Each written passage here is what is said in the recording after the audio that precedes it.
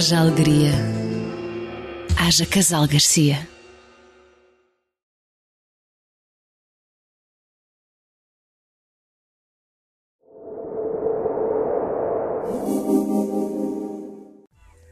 Foi com a presença do Cônsul-Geral de Portugal em Paris que encerrou o nono Encontro Nacional das Associações Portuguesas em França. Um dia que trouxe a debate alguns dos tópicos mais importantes para a comunidade. Do ensino da língua portuguesa ao apoio consular, passando por atividades de uma associação de estudantes lusófonos ou mesmo pela crise económica, vários foram os temas que juntaram dezenas de pessoas no Hotel de Ville no passado dia 27 de outubro. Explicar a crise é importante, até porque é um problema transversal que afeta igualmente os portugueses residentes em França.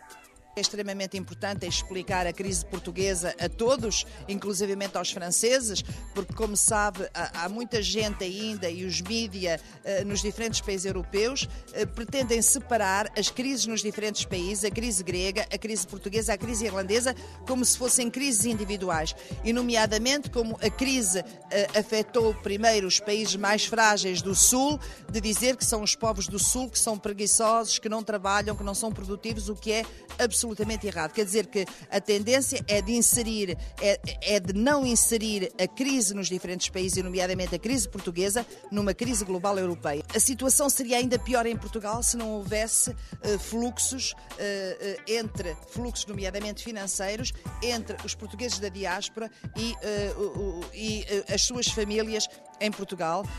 há famílias, sempre até agora não é novo, há famílias que viveram e que conseguem viver de forma mais ou menos menos decente graças às remessas que são enviadas pelos portugueses da diáspora. Isso é muito verdade uh, atualmente. Eu devo dizer que há outras, outras repercussões, além dessas, há uh, o crédito mal parado em Portugal atualmente seria muito superior se não houvesse portugueses que vieram cá para fora trabalhar e que, graças ao trabalho, estão a pagar prestações de créditos, nomeadamente a habitação em Portugal. Portanto, as ligações são extremamente importantes. No entanto, existe um paradoxo que opõe a recente vaga de imigração à postura do governo perante as comunidades residentes no estrangeiro. Tem a ver com o facto de, eh, por um lado, o governo ter incentivado ao abandono do país por parte das suas populações, designadamente de algumas populações qualificadas que nós temos em Portugal. Eh, por outro lado, pelo facto de o governo reconhecer que existe à volta de, existem à volta de 100 mil portugueses que têm abandonado todos os anos o país e, ao mesmo tempo, diminuir as suas estruturas de apoio, diminuir, desinvestir nas políticas como nunca antes tinha acontecido. E, portanto, isto é um grande paradoxo, porque isto exigiria da parte do Estado português que houvesse um investimento adequado um, à, àquilo que é a percepção que o governo tem da realidade da imigração.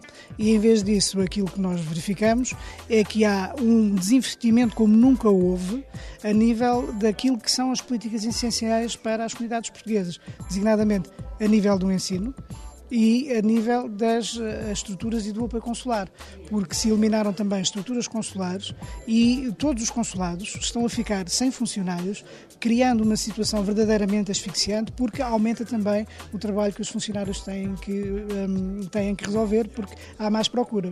A organização deste dia esteve a cargo da coordenação das coletividades portuguesas em França uma associação que, na comemoração dos seus 30 anos, enfrenta agora novos desafios. Qualquer estrutura que não tenha financiamento, há sempre o risco de, de, de desaparecer, porque sem meios é impossível, é impossível sobreviver. Os cortes governamentais vai um pouco no ar do tempo, uh, com dizer não há dinheiro. Uh, nem sempre estamos de acordo e, e, as associações hoje em dia são obrigadas a fazer com os meios que têm, os poucos meios, e, mas conseguem ainda fazer alguma coisa, mas não é suficiente. Porque, como foi dito hoje aqui, nas associações da Lei 1901 têm uh, o direito de se autofinanciar até 30% do budget total, uh, mas os outros 70% será, uh, será assegurado pelo governo, pelos poderes governamentais. A CCPE atravessa uma fase difícil, uma fase uh, financeira, financeiramente falando muito difícil, mas não pode desaparecer.